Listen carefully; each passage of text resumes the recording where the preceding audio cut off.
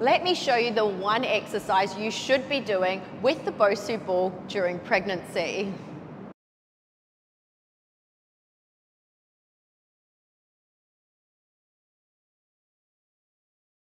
But in all seriousness, let's talk about stability training or training on uneven surfaces during pregnancy. Because for some reason the other day, two pregnancy BOSU workouts popped up on my YouTube highlighting once again why I personally don't recommend you follow free online pregnancy workouts because the reality is while some trainers justify the use of stability training or training on uneven surfaces because it's thought to improve your core strength, balance and coordination and help prevent injuries by engaging smaller stabilizing muscles. When it comes to pregnancy, the scenario changes quite significantly and here's why. During pregnancy, your center of gravity shifts as your baby grows, causing your pelvis to tilt anteriorly. The effect of this can be felt both up and down your body. You have the increased weight of your breasts and of course your growing baby, changing your usual weight distribution, making you a little bit more unstable in general. You have joint laxity in your lumbar spine and pelvis due to your hormones and the changes to your abdominals. The widening and increased mobility of your pelvis that allows you to birth your baby, along with the weight of the baby adding extra pressure to your lumbopelvic region. Of course, all of these things make balancing on unstable surfaces much, much more challenging and actually increases the risk of falls. And the last thing that you want during pregnancy is taking a tumble that could potentially harm you or your baby while training. And if we look back at one of the reasons why you might use a BOSU ball or train on uneven surfaces, being that it engages smaller stabilizing muscles.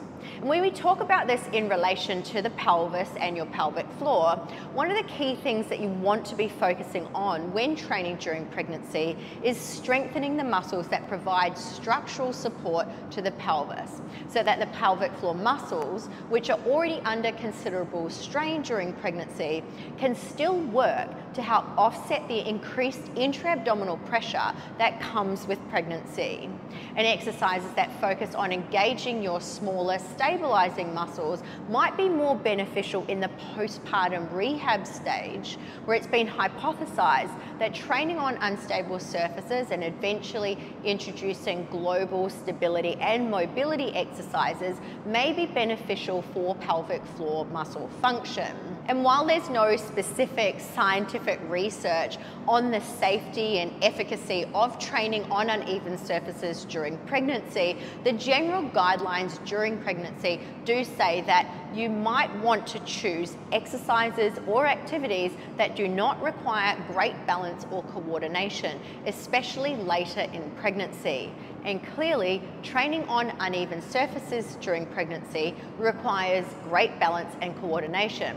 So as far as I'm concerned, when it comes to using a BOSU during pregnancy, rather than squatting on them, doing RDLs on them, using it for glute bridges or rear foot elevation for your lunge, you're actually better off to do a box squat, a split stance RDL, a shoulder elevated hip extension, or a stable surface for your rear foot elevated lunge instead.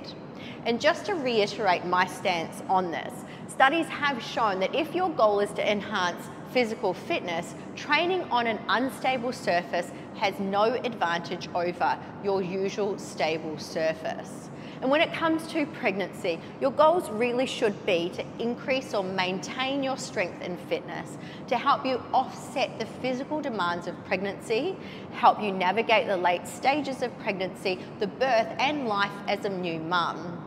So when it comes to training during pregnancy, let's leave the BOSU ball in the same place that I put it at the beginning of this video and focus on safe, effective exercises that support your changing body and growing baby. Trust me, your future self will thank you.